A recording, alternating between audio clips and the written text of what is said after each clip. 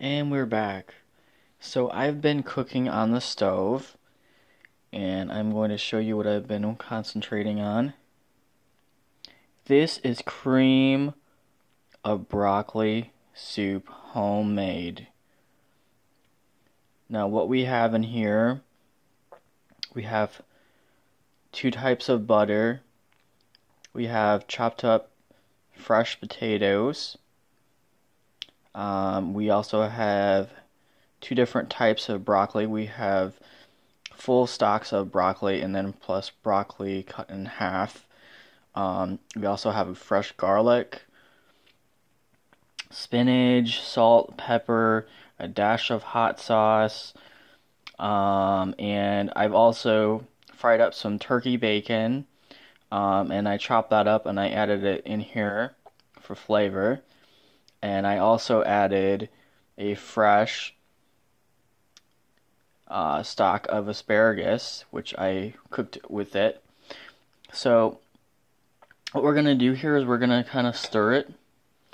Um, so, hang on one minute.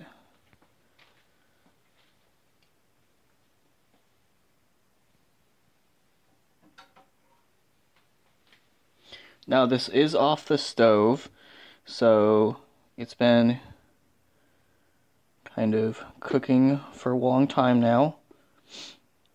I cooked it for almost 15 minutes on medium.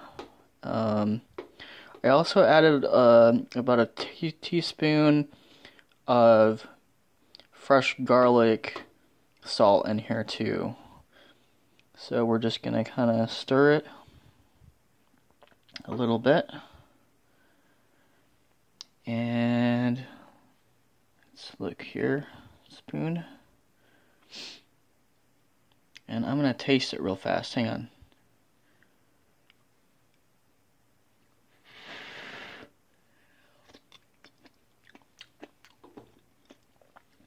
Oh my god.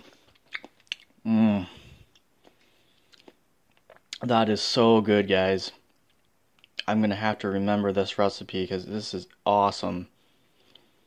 So, yeah, cream of broccoli soup, homemade.